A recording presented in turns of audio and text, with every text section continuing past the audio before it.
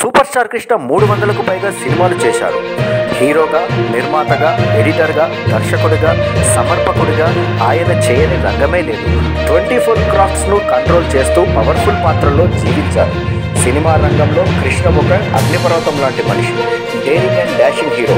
ఎవరికీ తల వంచని తల దించని పర్వతం.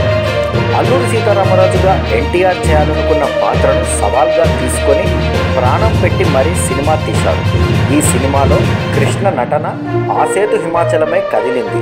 రూథర్ఫర్డ్ అని ఆయన చెప్పిన డైలాగులు ఆ సీన్లు నెవర్ బిఫోర్ నెవర్ ఆఫ్టర్.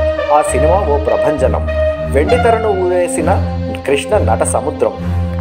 అంతటి సూపర్ స్టార్ కృష్ణకు కేంద్ర ప్రభుత్వం మాత్రం చిన్న చూపే చూసింది. సినిమా పరిశ్రమలో అత్యున్నత పురస్కారంగా భావించే దాదాసాహెబ్ ఫాల్కే అవార్డును సూపర్ స్టార్ కృష్ణకు వరించలేదు. దీనికి ఎలాంటి రీజను లేదు. ఇరవై నాలుగు క్రాప్స్లో విజయవంతమైన హీరో ఇండియాలో సూపర్ స్టార్ కృష్ణ తప్ప మరెవరూ లేరు. మరి తెలుగువాడుగా పుట్టడమే కృష్ణగారు చేసుకున్న పాపమా అని అభిమానులు మండిపడుతున్నారు. సూపర్ స్టార్ కృష్ణకు భారతరత్న ఇవ్వడం ద్వారా అయినా చేసిన పాపం తుడుచుకోవాలని కేంద్ర ప్రభుత్వాన్ని అభిమానులు డిమాండ్ చేస్తారు. సూపర్ స్టార్ కృష్ణ మూడు వందలకు పైగా సినిమాలు చేశారు. హీరోగా నిర్మాతగా ఎడిటర్గా దర్శకుడిగా సమర్పకుడిగా ఆయన చేయని రంగమే లేదు. ట్వంటీ ఫోర్ క్రాఫ్ట్స్ను కంట్రోల్ చేస్తూ పవర్ఫుల్ పాత్రల్లో జీవించారు. సినిమా రంగంలో కృష్ణ ఒక అగ్నిపర్వతం లాంటి మనిషి. Daring and dashing hero.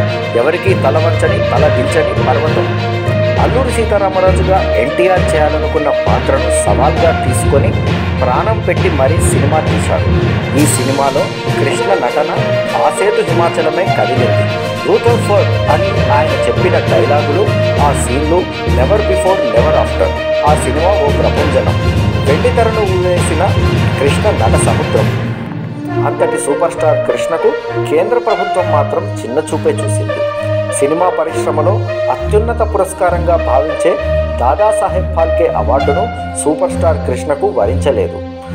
దీనికి ఎలాంటి రీజను లేదు. ఇరవై నాలుగు క్రాప్స్లో విజయవంతమైన హీరో ఇండియాలో సూపర్ స్టార్ కృష్ణ తప్ప మరెవరూ లేరు. మరి తెలుగువాడుగా పుట్టడమే కృష్ణగారు చేసుకున్న పాపమా అని అభిమానులు మండిపడుతున్నారు.